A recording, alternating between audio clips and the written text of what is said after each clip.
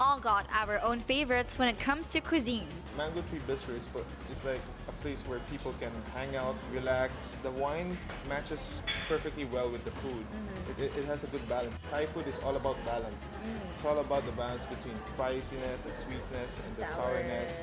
You pair that with a really refreshing wine, then it's perfect. And we definitely prefer them to be authentic. It's an authentic Thai with a modern twist.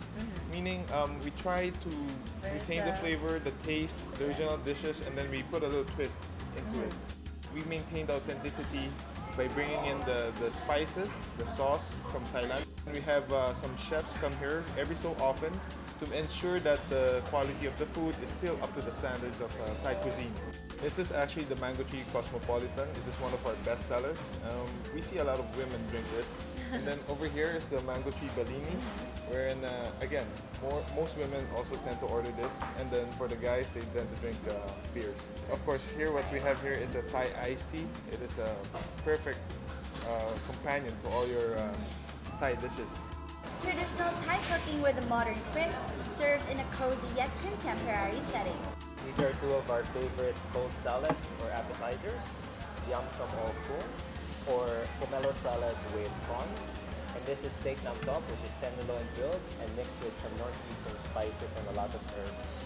I also have the hot man kung or deep fried fresh shrimp cakes. We make it fresh every day. This is our gaita kayang or grilled lemongrass chicken, our best seller in the house. We serve it with a northeastern Thai dipping sauce or chim chow.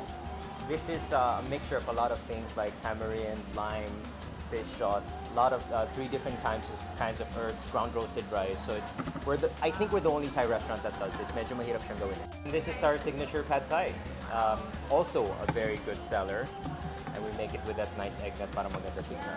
Uh, Tom yum kung, our uh, hot and sour soup with limes, kaffir limes, and lime juice, and fish sauce, and herbs, and galangal. Our best seller in the dessert is the mango cheesecake. It's quite light in comparison to the other cheesecakes. It's like eating clouds. It's an amalgamation of cloud and cheese, so it's really, really heavenly.